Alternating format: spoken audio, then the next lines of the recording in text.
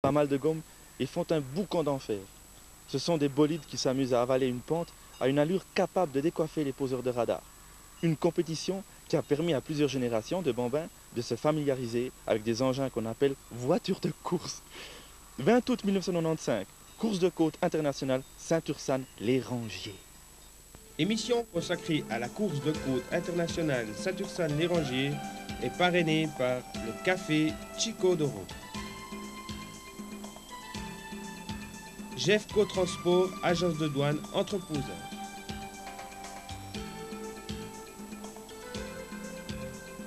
Les pneus Continental.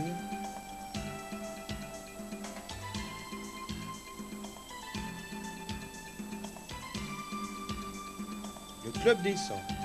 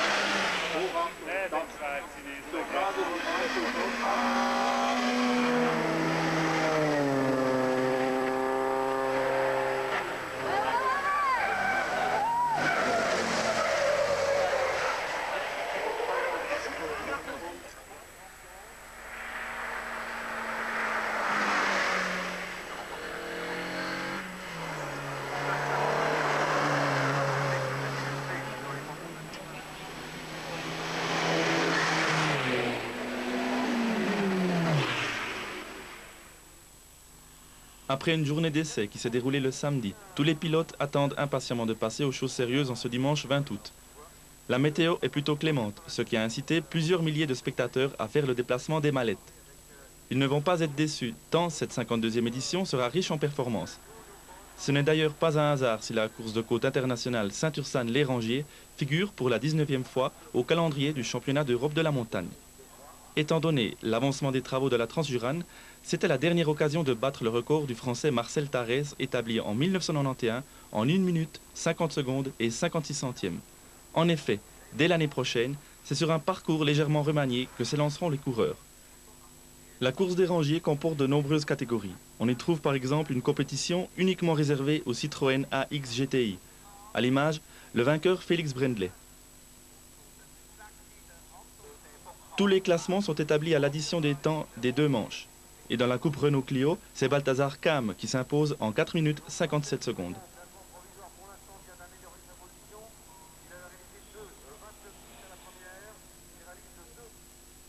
Chez les voitures de tourisme, les catégories sont établies en fonction des cylindrées.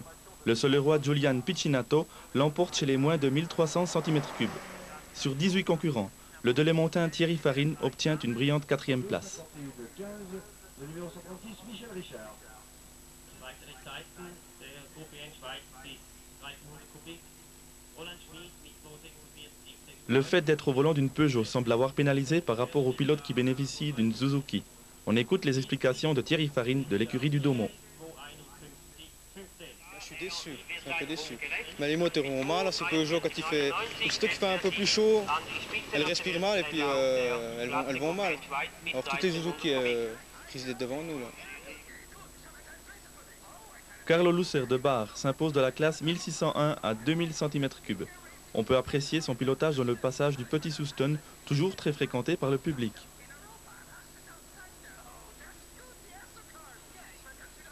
Christian Allenbach de Montavon termine troisième à 3 secondes du vainqueur. Les passages en forêt, où la route est beaucoup plus froide, semblent lui avoir posé certains problèmes. Euh, c'est dur, quoi. C'est très dur parce que ça glisse au garage, ça glisse dans tous les sens. Au grippon, ça va. Bon, il y avait le drapeau jaune parce qu'il y avait de l'huile. Après, le marron, ben, le petit marron, c'est, l'horreur aussi. Ça glisse, ça glisse tout le long. Il y a juste quand vous êtes sorti de la forêt, ben, vous, faites déjà, vous respirez déjà très fort parce que, parce que c'est déjà les trois quarts de la course sont faits. Quoi. Après, il n'y a plus de, de problèmes, de gros problèmes. quoi.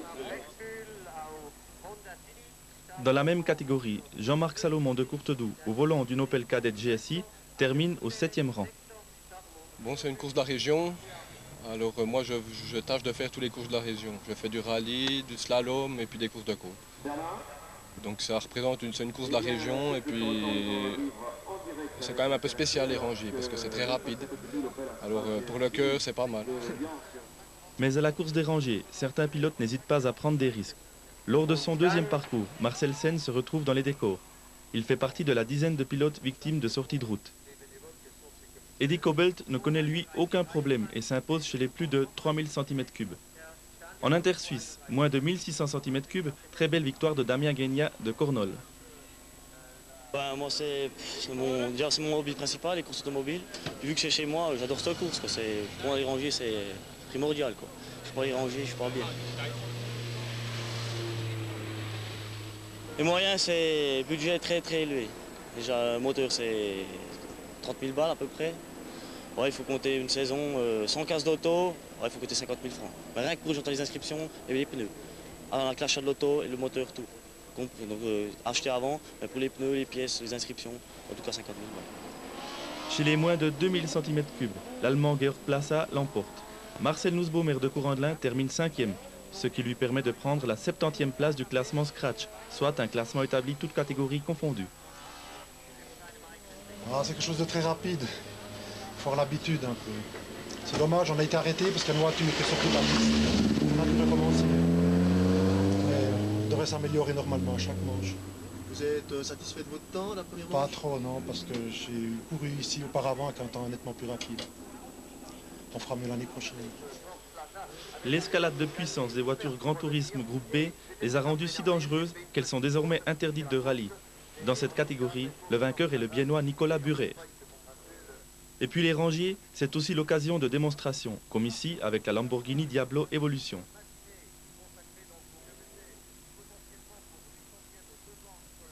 Beat Amacher l'emporte dans le groupe A des voitures de tourisme devant la pilote de l'écurie du Daumont Muriel Cuche de Delémont, qui prouve que le sport automobile n'est pas exclusivement réservé aux rouleurs de mécanique.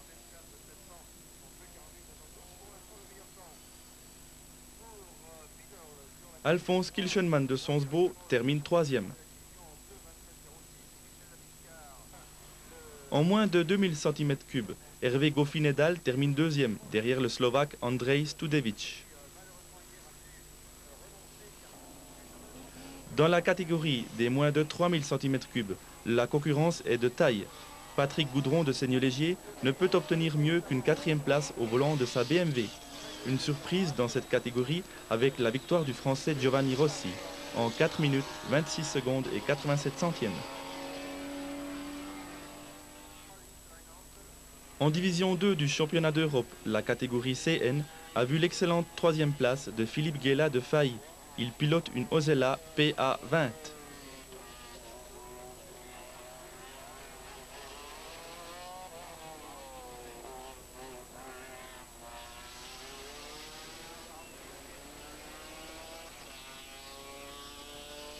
Devant lui, le français Dosière et l'italien Danti se sont imposés dans des temps qui les placent respectivement au 7e et 5e rang du classement Scratch. En Formule Ford, victoire jurassienne avec Alain Chariat de Porrentruy qui s'impose malgré des temps supérieurs à ceux qu'il avait obtenus en 1994.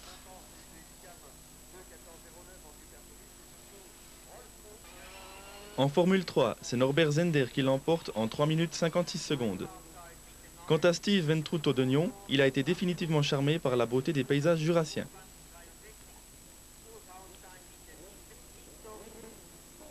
Dans la catégorie des voitures de course de petite cylindrée, un pilote de l'écurie des Ordons se distingue. Il s'agit de Bernard Scheder de Courfèvre, qui termine deuxième.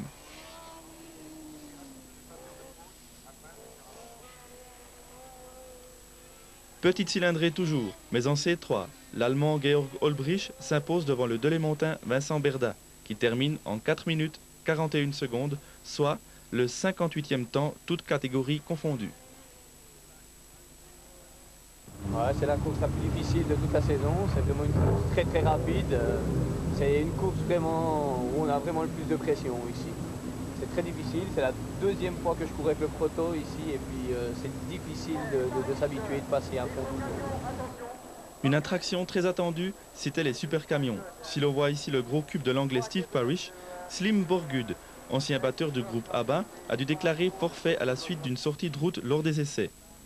Le grand vainqueur de cette 52e édition, c'est Freddy Amweg. Déjà au palmarès des éditions 81, 86 et 94, il réussit cette année à battre le record du parcours en effectuant sa première montée en 1 minute 50 secondes et 6 centièmes, soit une amélioration du précédent record de très exactement 50 centièmes. Sa très bonne deuxième manche lui permet de s'imposer devant l'auteur d'un autre exploit tout aussi retentissant. Avec sa Formule 2 et donc 1000 cm3 de moins que la Formule 3000 d'Amweg, Gérard Gürtner de Develier effectue une bonne première montée. Mais sa deuxième manche est tout simplement prodigieuse. En 1 minute 50 secondes et 5 centièmes, il établit un nouveau record, 1 centième devant Freddy Amweg. C'est très spécial. Bon, le, résultat, je finis deuxième derrière Amweg, c'est une grande satisfaction dans ma tête, je pensais qu'Amweg voulait gagner. jamais j'aurais pensé faire un record devant Amweg. Donc je suis entièrement satisfait de, mon classement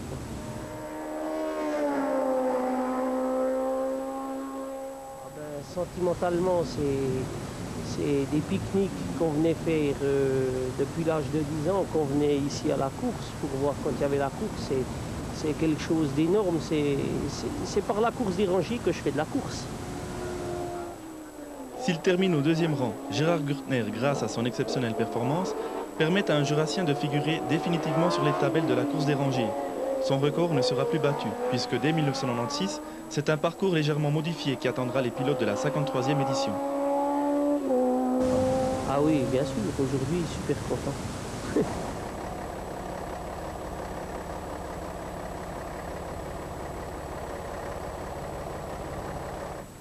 L'édition 1995 a vécu, avec son lot d'exploits et d'émotions. Une édition dont on retiendra les performances des grosses pointures, mais aussi celles de certains passionnés qui courent avec d'autres budgets.